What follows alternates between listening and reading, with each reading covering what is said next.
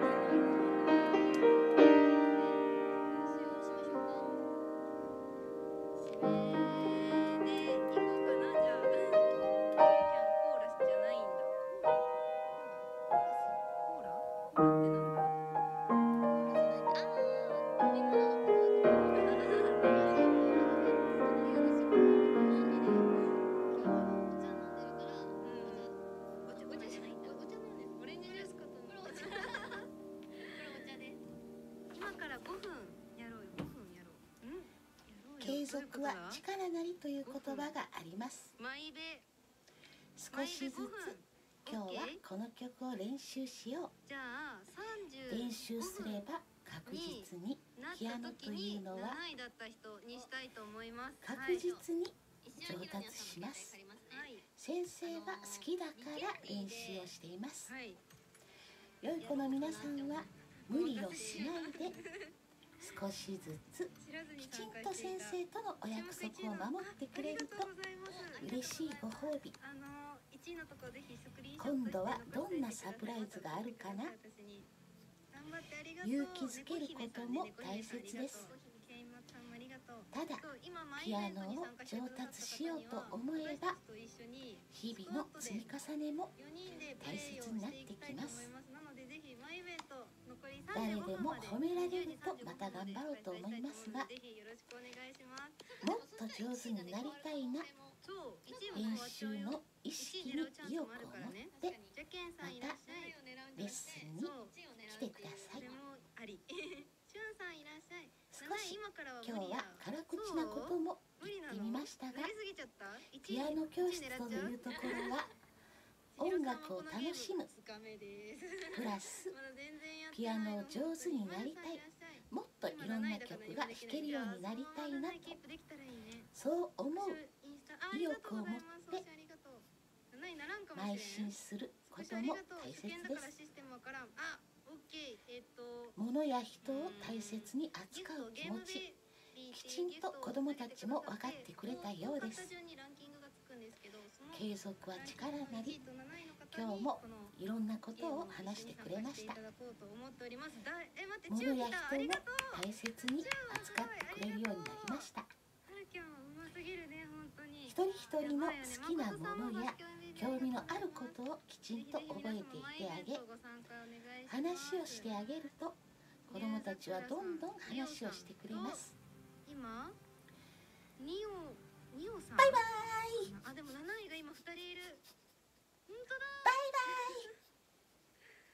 バ 難しいな。イバイギロックよりワンちゃん7位秘書行きたい。でした。7位も1位じゃなくてバイ1位になったら一緒にできるじゃん。ニオさんね。お気楽ひょっニオさん一緒にできるかもしれない。ピアノ教室でした。